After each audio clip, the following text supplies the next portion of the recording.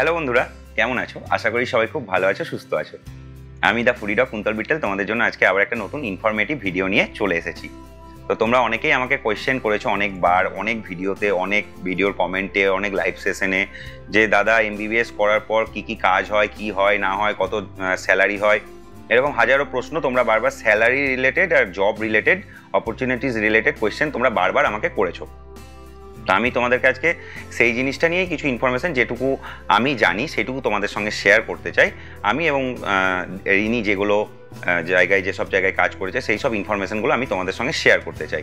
তো আশা করি তোমাদের ভিডিওটা খুবই ভালো লাগবে। তো মেন যে কনসেপ্টটা ভিডিওটার, সেটা হচ্ছে যে এমবিবিএস পাস করার পর মানে ইন্টার্নশিপ থেকে শুরু করে, একদম post graduate post doctorate trainee অবধি স্যালারি স্ট্রাকচারটা কী আছে এবং এমবিবিএস করার পর কী কী জব অপরচুনিটিস আছে সেইগুলো মেনলি আমরা এখানে বলব। পোস্ট গ্র্যাজুয়েট আর পোস্ট ডক্টরেট মানে নিট পিজি আর নিট এসএস তারপরে যে পাস করার পর সেইগুলো নিয়ে আমরা এই ভিডিওতে আলোচনা করব না। আমরা শুধু তাদের সরকারি স্যালারিগুলো বলেই ছেড়ে দেবো। তো চলো তাহলে দেরি না করে আমরা ভিডিওটা শুরু করে দিই।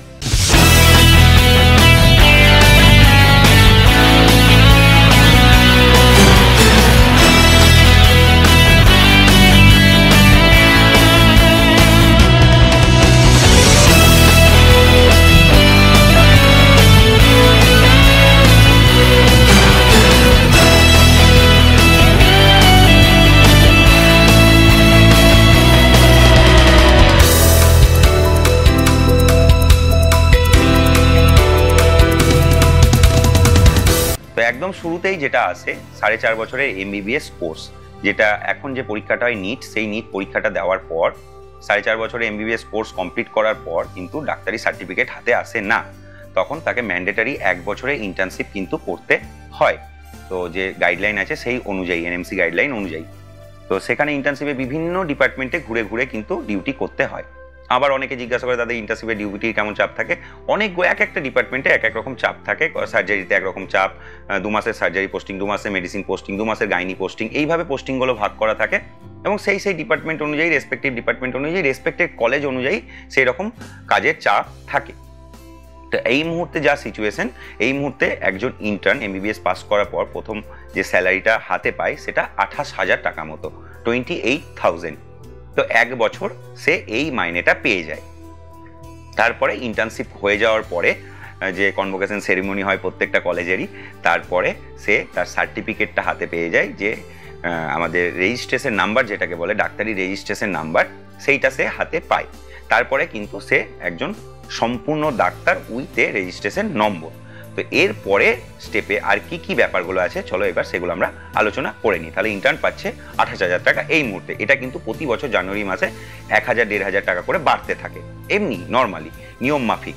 এবার কোনো স্পেশাল ইনক্রিমেন্ট না হলে এটা এক, দেড় হাজার টাকা করে বাড়তে থাকে। তো ইন্টার্নশিপ হয়ে গেল। ছেলে বা মেয়ে, সে সম্পূর্ণ ডাক্তার, তৈরি হয়ে গেল। সমাজে একটা জায়গা পেল, নামের সামনে ডক্টর লেখার সে অধিকার পেল। এরপরে চলে আসছি যে প্রথম যে জিনিসটা, যে উপায়টা তাদের হাতে থাকে, সেটা হচ্ছে কলেজের মধ্যেই কাজ করা। সেটার নাম হচ্ছে হাউস টাপশিপ এবার অনেকেই আবার জিজ্ঞাসা করে, দাদা হাউস টাপশিপে কাজের চাপ কেমন? বা হাউস টাপ কীভাবে হয়? এই পার্টটা একটু হালকা করে তোমাদেরকে বলে নিই। হাউস টাপ হচ্ছে গোটা এমবিবিএস এর যে নাম্বার তোমরা পেলে, সেই নাম্বারগুলোকে যোগ বিয়োগ করে একটা র্যাঙ্কিং তৈরি হয়। সেই র্যাঙ্কিং অনুযায়ী একটা কলেজে মনে করো যে কোনো একটা মেডিকেল কলেজ আমি আরজি করে এখন আছি, তো আরজি কর নিয়েই বলছি। ধরো RG Kar surgery gynae ENT eye emergency medicine সব মিলিয়ে সব কিছুতে দশটা দশটা, বারোটা, এগারোটা, দশটা, বারোটা, এভাবে সিট আছে। এবার একটা র্যাঙ্কিং লিস্ট তৈরি হয় এবং তারপরে কলেজের মধ্যেই সেটার কাউন্সিলিং হয়। এবার যার এক র্যাঙ্ক তার কাছে সবগুলো ডিপার্টমেন্টের সুযোগ থাকছে, যার দুই র্যাঙ্ক তিন র্যাঙ্ক এইভাবে র্যাঙ্ক অনুযায়ী ডিপার্টমেন্ট ভর্তি হতে থাকে। সবাই নিজের প্রেফারেন্স আর ভালো লাগা বা আরও একটা ফ্যাক্টর যে কোথায় ডিউটি কম করতে হবে, এই সব ব্যাপার নিয়ে যেহেতু নিট পিজির পড়াশোনার একটা ব্যাপার থাকে, সেহেতু সেই হিসাবে এই কাউন্সিলিংটা সিটগুলো ফিল আপ হয়ে যায় এবং সেইখানে হচ্ছে গিয়ে এই মুহূর্তে যে হাউস স্টাফশিপের স্যালারিটা চলছে সেটা ফর্টি ফাইভ কে তাহলে এটাও হয়ে গেল যে পঁয়তাল্লিশ হাজার টাকার মতো। এক দু হাজার টাকা মানে পাঁচশো হাজার টাকা এদিক ওদিক হলে মানে সেটা এমন কিছু ব্যাপার নেই আমি রাউন্ড ফিগারে বলার চেষ্টা করছি পঁয়তাল্লিশ হাজার। তো তাহলে হাউস স্টাফশিপে ডিপার্টমেন্ট ওয়াইজ ডিউটি ডিপেন্ড করে কতটা হবে এবং সেটাও নিগোসিয়েবল তো সেই জায়গায় দাঁড়িয়ে হাউস স্টাফশিপদের হাউস স্টাফশিপের স্যালারি হচ্ছে পঁয়তাল্লিশ হাজার টাকা। তারপরে যে ব্যাপারটা আছে যে কেউ হয়তো হাউস স্টাফশিপ করছে না বা করতে চাইছে না বা পেল না মানে হাউস স্টাফ কিন্তু সবাই পাবে এরকম কোনো ব্যাপার নেই। কারণ একটা কলেজে যখন দুশোটা সিট থাকে, দুশো জন ডাক্তার তৈরি হলো, বা আমি একশোটা ধরেই বলছি, একশোটা ডাক্তার তৈরি হলো, সেই অনুপাতে ওই sixty two sixty five percent কিন্তু হাউস স্টাফশিপের সিট থাকে। মানে সবাই যদি হাউস স্টাফশিপ করতে চাই তাহলে যে পাবে তা কিন্তু নয়, সব ডিপার্টমেন্ট ধরেই আমি বলছি টোটাল সিটটার কথা বলছি।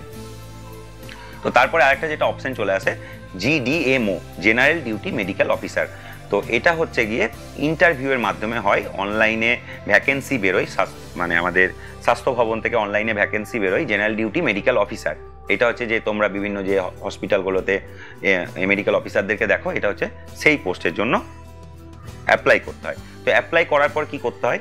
অনলাইনে তোমরা অ্যাপ্লাই করতে হয়, তার মধ্যে বিভিন্ন গ্রেডিং পয়েন্ট থাকে, এই থাকে, ওই থাকে, কে কতদিন, কার কতটা এক্সপিরিয়েন্স এইসব নিয়ে একটা, তারপরে সেইগুলো নিয়ে ইন্টারভিউ হয় ইন্টারভিউ অনুসারে কোন জায়গায় তাকে পাঠাবে, সেটা কিন্তু অপশন চয়েস দেওয়ার জায়গা থাকে, কিন্তু পুরোটাই ডিপেন্ড করে স্বাস্থ্য ভবনের উপর, যেখানে ইচ্ছা মতো তাদেরকে পাঠানো হয়।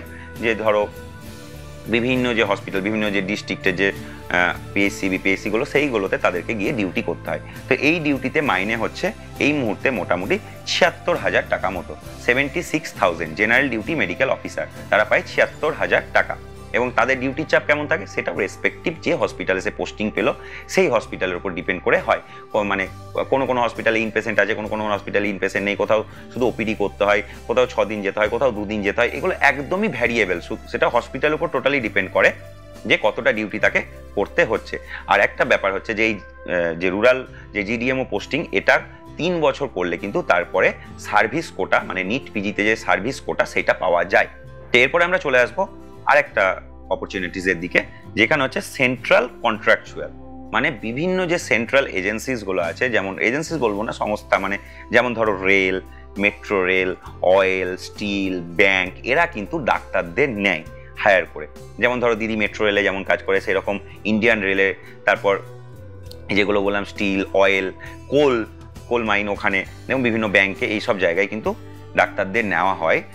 তো সেই সব জায়গায় এগুলোরও ওই ইন্টারভিউ মানে পেপারে ভ্যাকেন্সি বেরোয়, গিয়ে ইন্টারভিউয়ের মাধ্যমে জবে জয়েন করতে হয়। তো এক্ষেত্রেও এগুলো কিন্তু কন্ট্রাকচুয়াল সেক্ষেত্রে কিন্তু মাইনে সিক্সটি থাউজেন্ড থেকে এইট্টি থাউজেন্ড অবধি ভ্যারি করে যে কতটা মাইনে হবে। বিভিন্ন জায়গায় বিভিন্ন রকম। তো এই আর একটা দিক গেল। তো এরপরে যেটা নিয়ে আমরা বলব যে সেন্ট্রালের পারমানেন্ট জব পারমানেন্ট জব মানে যেগুলো ইউপিএসসি দিয়ে পাওয়া যায়। ইউপিএসসি পরীক্ষার মাধ্যমে জবের ব্যাপার তোমরা সবাই জানো, সেক্ষেত্রে ওই একইভাবে যে এটা কিন্তু পারমানেন্ট জব এবং মাইনেটাও বেশ, অনেকটাই বেশি। নব্বই থেকে পঁচানব্বই হাজার টাকার মধ্যে ভ্যারি করে। সেগুলো ওই একই জায়গাগুলো, এই রেল টেল এই সব জায়গাতেই চাকরিগুলো পাওয়া যায়। এবং সেখানেও কিন্তু মাইনের অঙ্কটা বেশ বেশি, নব্বই থেকে পঁচানব্বই হাজার টাকার মধ্যে থাকে ঢুকেই। এরপরে যেটা হচ্ছে গিয়ে আরও একটা পার্ট আছে আর্মি সেখানেও ওইভাবে এস এসএসসি যে পরীক্ষা কি এসএসসি পরীক্ষা শর্ট সার্ভিস কমিশন পরীক্ষার মাধ্যমে সেখানে ওই নব্বই, পঁচানব্বই হাজার টাকার মধ্যে আর্মি ডক্টর সেটাও কিন্তু আরেকটা দিক যেটা হওয়া যায়। এরপরে যেটা মানে খুব মানে ছেলেদের মেয়েদের মধ্যে খুব কনফিউশন সেটা হচ্ছে আর আরএমওসি বেসরকারি হসপিটালে আরএমওসি এর মাইনেটা নিয়ে অনেকের মনে অনেক ধোঁয়াশা আছে এবং আমি অনেক ভিডিওতে অল্প অল্প করে বলার চেষ্টা করেছি, কিন্তু সম্পূর্ণভাবে তোমাদেরকে সেটা অনেকে বুঝতে পেরেছে, অনেকে বুঝে উঠতে পারেনি। তো যে আরএমওসি এই ব্যাপারটা কি? মানে এটা হচ্ছে রেসিডেন্ট মেডিকেল অফিসার মানে ধরো তোমাদেরকে একদম বড় জায়গা দিয়ে শুরু করি, যেমন ধরো অ্যাপেলো উডল্যান্ড আমরি তারপর হচ্ছে বেলভিউ এই সব যে হসপিটালগুলোতে সেইগুলোতে বিভিন্ন যে ডিপার্টমেন্ট আছে, যেমন ধরো ওয়ার্ড, যেমন ধরো আইসিইউ যেমন ধরো আইটিইউ যদি কারও কেউ ভর্তি হয়ে থাকে, দেখবে অন ডিউটি একজন করে আরএমও থাকে। তারপরে ধরো সিসিইউ গ্যাস্ট্রো নেফ্রো ডায়ালিসিস এই বিভিন্ন জায়গায় আরএমওদের রাখা হয়। যা মানে ধরো একটা যে কনসালটেন্ট সে তো সবসময় থাকছে না হসপিটালে তাহলে একজন আরএমওকে কিন্তু ওখানে কনস্ট্যান্ট উপস্থিত থাকতে হয়। এবার এদের মাইনেগুলো কিন্তু হয় ঘণ্টা হিসাবে।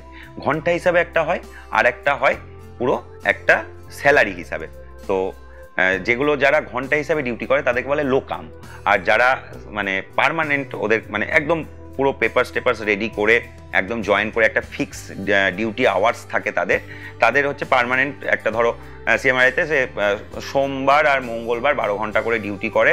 টোটাল দুদিন মিলিয়ে চব্বিশ ঘণ্টা তার বদলে।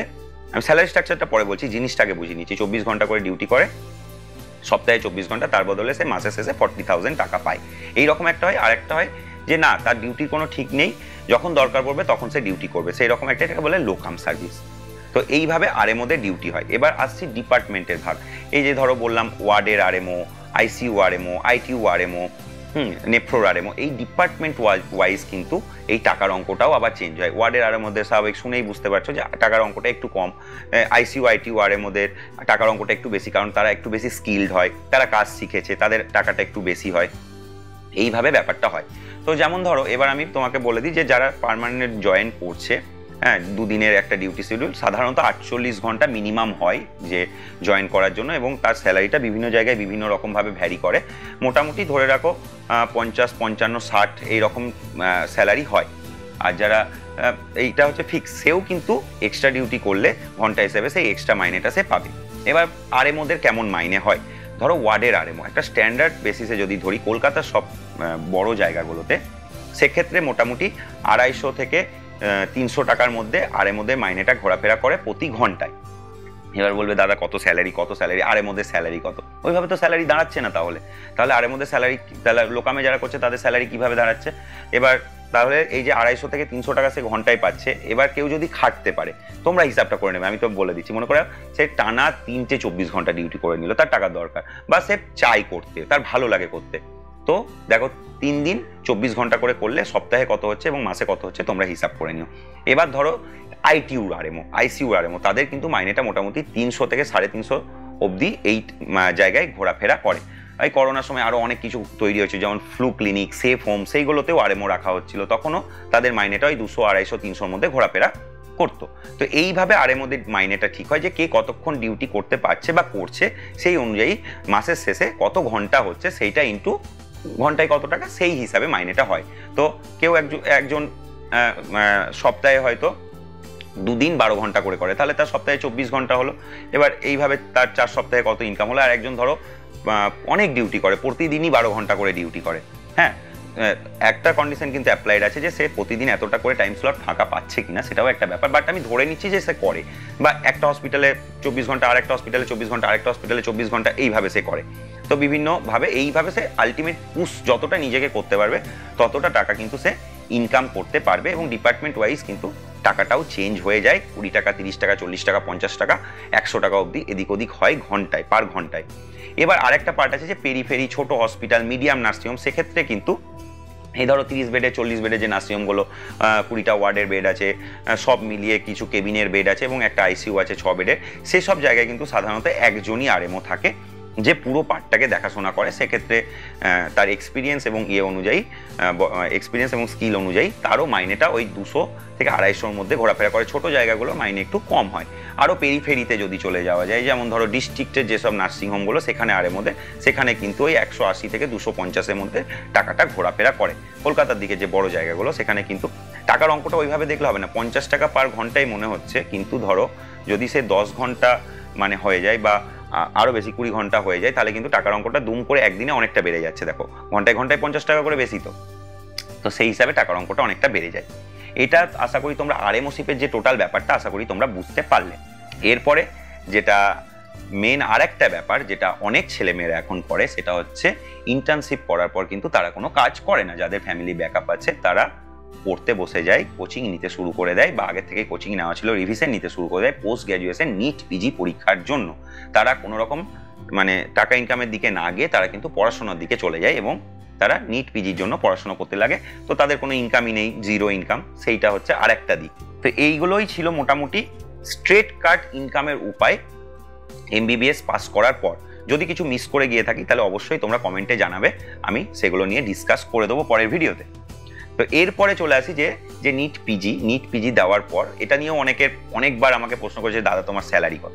তো এখন যে স্ট্রাকচারটা আছে, সেই স্ট্রাকচারটা অনুযায়ী আমি যদি তোমাদেরকে বলি, তাহলে নিট পিজি দেওয়ার পর first year second year third year PGT আর নিট এসএস দেওয়ার পর first year second year third year PDT post doctorate training এদের মাইনেগুলো একবার তোমরা শুনে নাও। এই মুহূর্তে যে স্যালারি স্কেলটা আছে তো ফার্স্ট ইয়ার পিজিটি এখন মোটামুটি অ্যারাউন্ড ফর্টি ফাইভ কে পায় second year PGT forty eight K আর third year PGT fifty two K মানে আমি কয়েকদিন আগেই থার্ড ইয়ার পিজিটি ছিলাম, তখন আমার মাইনে ছিল ফিফটি টু কে এবার হচ্ছে পিডিটি পোস্ট ডক্টরেট ট্রেনিং মানে যারা পোস্ট ডক্টরেট করছে ডিএম এমসিএইচ করছে, তাদের মাইনেটা একবার শুনে নাও। আর যারা আগেরটা যেটা বললাম এমডিএমএস এর মাইনে। তো ডিএম এমসিএইচ এর মাইনে হচ্ছে ফার্স্ট ইয়ারে ফিফটি সিক্স কে মতো সেকেন্ড ইয়ারে ফিফটি নাইন কে মতো, আর থার্ড ইয়ারে সিক্সটি টু কে মতো।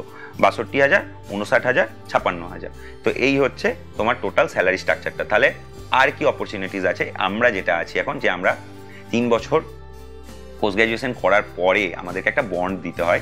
তো তাতে সেটাকে বলে মানে আমাদেরকে সার্ভিস করব তার বন্ড তো সেই যে বন্ডটা সার্ভিস বন্ড সেইটাতে আমাদের স্যালারি হচ্ছে সেভেন্টি থাউজেন্ড ফিক্সড এক টাকাও বাড়বে না, এক টাকাও কমবে না। প্রতি মাসে সত্তর হাজার টাকা করে তিন বছর ধরে পাবো। যদি কোনো না স্পেশাল কিছু একটা ইনক্রিমেন্ট আসার পর মুখ্যমন্ত্রী বলল যে, না, এদের বন্ড এসারদের মাইনে একটু বাড়িয়ে দেওয়া হোক। এটাই আগে একটু কম ছিল, সেটা বেড়ে সত্তর হাজার হয়েছে। আবার হয়তো আমার করতে, করতেই ধরো আমি বন্ডটা কন্টিনিউ করছি তিন বছর। তো সেক্ষেত্রে আমার মাইনে বলে দিল যে পঁচাত্তর হাজার করে দাও ওদের। তো পঁচাত্তর হাজার পেতে লাগলাম। আর কেউ যদি বন্ড না করে, যেমন আমার দু একজন বন্ধু ছেড়েছে আমার জানাশোনার মধ্যে, এই বছর কিছুদিন আগেই ছেড়ে দিয়েছে বন্ড তিন বছর বন্ডের জন্য তিরিশ লাখ টাকা দিতে হয় ছেড়ে দিতে গেলে। তাহলে সে যে ডকুমেন্টসগুলো বন্ডে জমা আছে, সেগুলো ফেরত পেয়ে যায়। তো এই ছিল মোটামুটি স্যালারি স্ট্রাকচার আর হচ্ছে ইনকামের মোটামুটি অপরচুনিটিসগুলো তোমাদেরকে বললাম। আরও অনেক অপরচুনিটিস আছে। তারই মধ্যে যেটা আমি মানে মেন সবাইকে বলতে চাই, যেটা এমবিবিএস পাস করার পরে বা পোস্ট গ্র্যাজুয়েশনের পরে বা পোস্ট ডক্টরেট করার পরেও সেটা সবার জন্য ওপেন থাকে। সেটা হচ্ছে নিজের বিজনেস বা নিজের নার্সিংহোম নিজের ক্লিনিক নিজের সেট এই পার্টটা কিন্তু এমবিবিএস করার পরেও থাকে এমএস এমডিএমএস করার পর থাকে আর এমসিএইচ ডিএম করার পরেও থাকে। তো এই নিজের ক্লিনিক এই পার্টটাতে কিন্তু এটা একটা বিজনেস তাহলে এটা ইনকামের ব্যাপারটা মানে সেভাবে তো বলা যাবে না বিজনেসের ব্যাপারে, কারও ক্লিক করবে, কারও ক্লিক করবে না। তো সেক্ষেত্রে কিন্তু গ্রোথ কিন্তু যাদের হয় ফিনান্সিয়াল হারে গ্রোথটা হয় এবং তাদের সেটা আনলিমিটেড ইনকামের একটা জায়গা হয়ে যায়। এগুলো সব এতক্ষণ যেগুলো বললাম, এগুলো কিন্তু লিমিটেড ব্যাপার স্যাপার বললাম। আর এই যে house staffship GDMOship central contractual যেগুলোই আছে, সব কিছুতেই কয়েকটা কিছু, কয়েকটা সেক্টর বাদ দিয়ে কিন্তু সে নিজের প্র্যাকটিস এমবিবিএস করার পরে এগুলো করার সাথে সাথেও নিজের চেম্বার নিজের প্র্যাকটিস সে কিন্তু করতে পারে চাইলে। তো সেই অপরচুনিটিসটা কিন্তু সবসময়ই থাকে। তো এই ছিল তোমার মোটামুটি আজকের কন্টেন্ট যে এমবিবিএস করার পর কি কি মানে জবের মানে স্যালারি স্কেলগুলো কি কি আছে সেগুলো তোমাদের সঙ্গে আমি একটু ছোট করে শেয়ার করলাম। আশা করি ভিডিওটা তোমাদের ভালো লেগে থাকবে। ভালো লাগলে অবশ্যই কি করতে হবে তোমরা জানো যে, বন্ধুদের সঙ্গে, এটা অনেকের মনেই অনেক কোয়েশ্চেন থাকে, তো বন্ধুদের সঙ্গে অবশ্যই তোমরা শেয়ার করতে পারো। আর যদি তোমাদের কিছু কোয়েশ্চেন থাকে, অবশ্যই তোমরা কমেন্টে আমাকে জানাতে পারো। ভালো লাগলে ভিডিওটা অবশ্যই লাইক করবে। আর কোনো পয়েন্টে গিয়ে যদি আমি মিস করে থাকি, অবশ্যই তোমরা সেটা আমাকে জিজ্ঞাসা করো। ঠিক আছে? তো এটাই ছিল আজকের কন্টেন্ট আজকের ভিডিও আশা করি তোমরা সবাই ভালো থাকবে। আর দেখা হচ্ছে নেক্সট ভিডিও নেক্সট ব্লগে চলো, তখনকার মতো তোমরা সবাই সুস্থ থাকো। টাটা!